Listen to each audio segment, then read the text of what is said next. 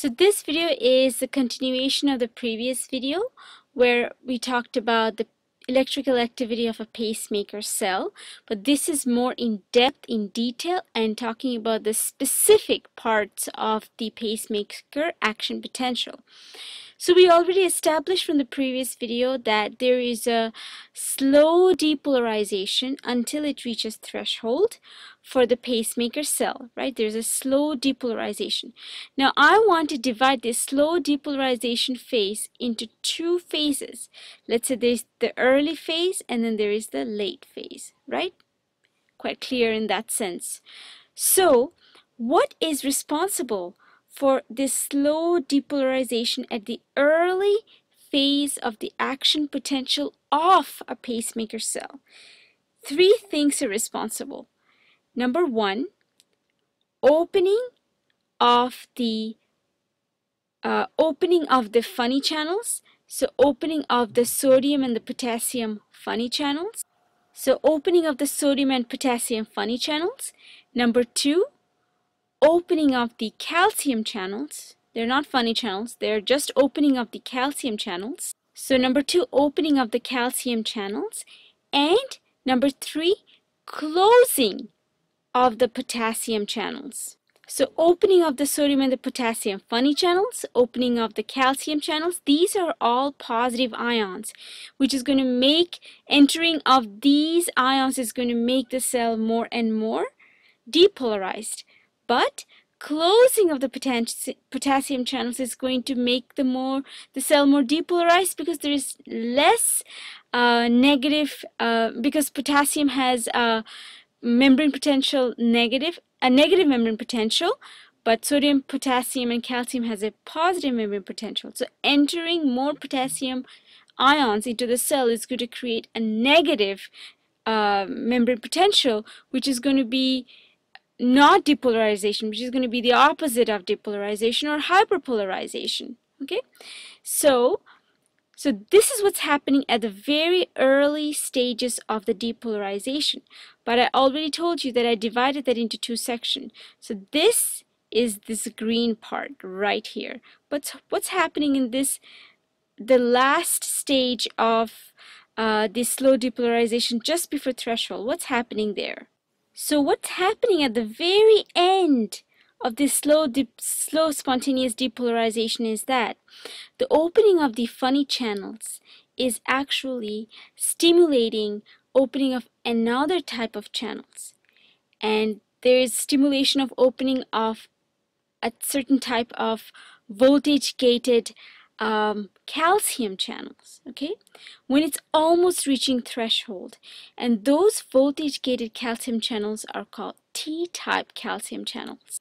So this last region is uh, this last region of spontaneous depolarization is achieved by T-type calcium channels, opening of the T-type calcium channels, which are also voltage-gated calcium channels. Now, at this region, the funny channels are not opening anymore.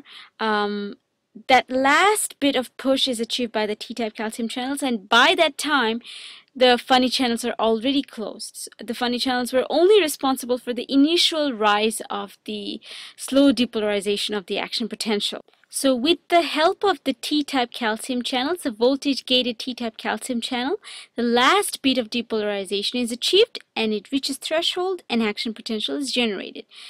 Now this action potential, from here onwards, what type of channels are responsible for the, this action potential? Now this action potential is generated by another type of voltage gated calcium channels and those are called L-type. So the, the, the last bit was achieved by T-type.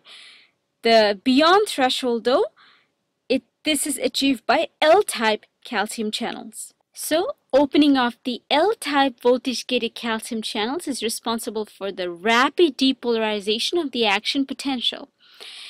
Now there are some sodium channels which are also open.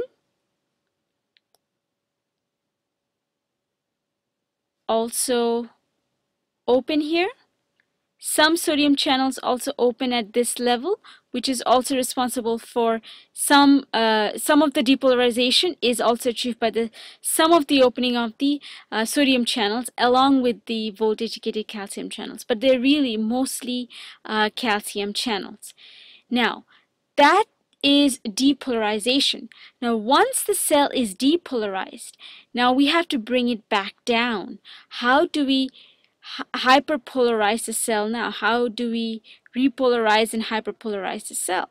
Now that is achieved by see how there was closing of the potassium channels closing of the potassium channels help with the depolarization now with the repolarization or hyperpolarization we are going to be needing potassium channels again. So now we are going to open opening of potassium channels is going to bring the membrane poten potential back to negative, which is responsible for this phase of the action potential. So at the very beginning, we had the potassium channels closed. At the very end, we have the potassium channels open so that more potassium can come in, make the cell more, more negative. So just to wrap up and a quick review, opening the very beginning of the slow depolarization was achieved by opening of the funny channels and opening of the calcium channels and closing of the potassium channels, which close but they trigger the opening of the T-type calcium channels, which are also voltage-gated calcium channels, which is opening of those channels is triggered by the sodium and the potassium funny channels, but once it opens, the funny channels close. Now this hits the threshold and as soon as threshold is hit, hits another uh, type of channels are open which are the L-type calcium channels which is responsible for the rapid upswing and action potential is generated. Once action potential is generated, the cell is hyperpolarized by making the cell more negative by opening the potassium channels which brings more potassium inside the cell and that is going to hyperpolarize our cell.